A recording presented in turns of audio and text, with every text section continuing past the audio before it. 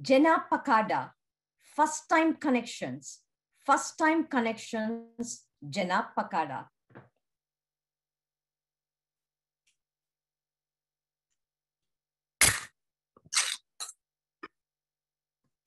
Did you hear that?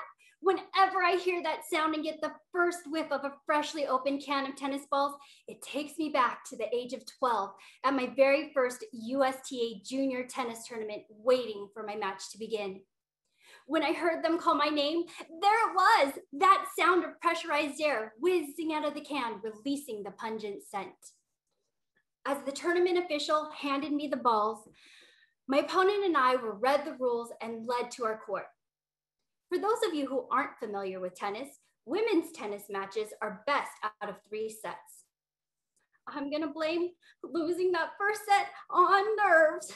But by the second set, my serve was feeling strong and I started forcing errors on my opponent, which led to a third set.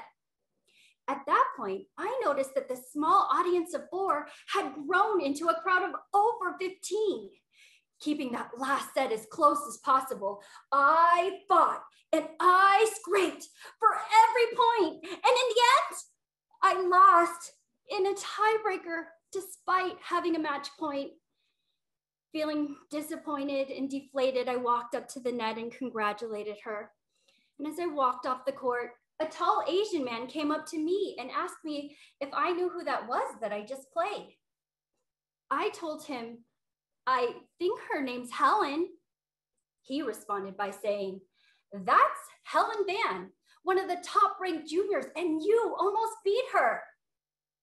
Even though I lost, that one comment lifted my spirits and I was hooked. Tennis was my game, and that was just the beginning. If we think of all of the things that we love, somewhere connected to it is a first time story. In these times of social distancing, we're so desperately longing to connect with one another. Fellow Toastmasters, honored guests, have you ever thought about connecting with someone by swapping first time stories? Back in 2013, I went to Lake Tahoe with 25 friends, and we all stayed together in one big house. As we were reminiscing about the first time we went to Disneyland together, a friend made a comment about first time stories. He said, Good or bad, everyone remembers a first time story. Everyone remembers a first time story? For some reason, those words really stuck with me. And on the last day of our trip, when we took one big group picture together by the lake, I posted it to Instagram, hashtag first time. Now, whenever my husband Sean and I share a first time moment, we always point it out and we chuckle as we remember back to the time at the lake. Every once in a while, we'll test out that theory by asking someone to recall a first time experience. A couple of years ago, our friend Marv came back from the Philippines, and at first he gave a regular vacation story, visiting family and beaches. Then Sean asked, Hey, Marv, What's something you got to experience for the first time while you were there? After a long pause, all of a sudden, his eyes lit up and a huge smile appeared, and his speech became animated as he started passionately recalling crazy details about an encounter he had with some strangers. Fast forward to last year when the news of the pandemic hit and we were forced to shelter in place and get creative in an attempt to stay sane in the midst of all the chaos.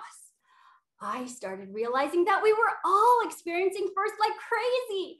There was the first time Zoom meeting, the first time drive by celebration, and the first time we had to wait in line to get into the grocery store. For me, I tried skateboarding for the first time, and I even built a Rube Goldberg machine one of those chain reaction machines that started out on my kitchen island and ended up turning on the lights in my living room. Now that we're still doing our part to keep our loved ones safe by maintaining some distance, I discovered there's so much to learn about others simply by asking them to recall a first time story. Even though I've been married to Sean for 12 years, and in this last year, I've spent almost every hour of every day with him, I'm still learning about him through his stories. Just the other night, he shared with me how he first discovered his passion for playing football back in the fifth grade. And recently, I connected with my dad as we swapped first time Toastmaster stories. It's hard to fathom that worldwide there have been over 3.3 million coronavirus deaths. And like so many of you, I lost friends and family in this past year without proper time to grieve or celebrate their lives.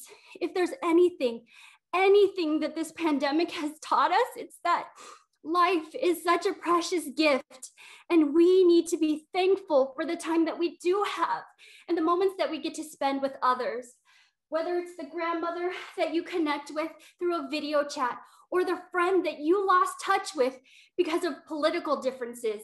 I challenge you to find something that that person truly loves and then ask them for a first time story related to it. You'll know that you've struck gold when you see that spark in their eyes and the tiny details start oozing from their story. Once you've shared stories like that, you've moved way beyond the surface and can see one another at a real human level. And if you can't find a first time story to connect to, invite that person to dream up something new. Perhaps find a new first time experience to share together.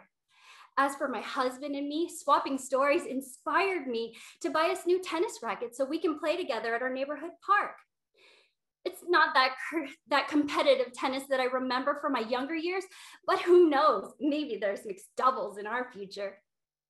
Now, whenever I hear the crack of the can and get that first whiff of new tennis balls, I not only think back to my very first tournament, but to all the firsts that are yet to come. What's your next first time story? And who will you share it with? Madam Toastmaster,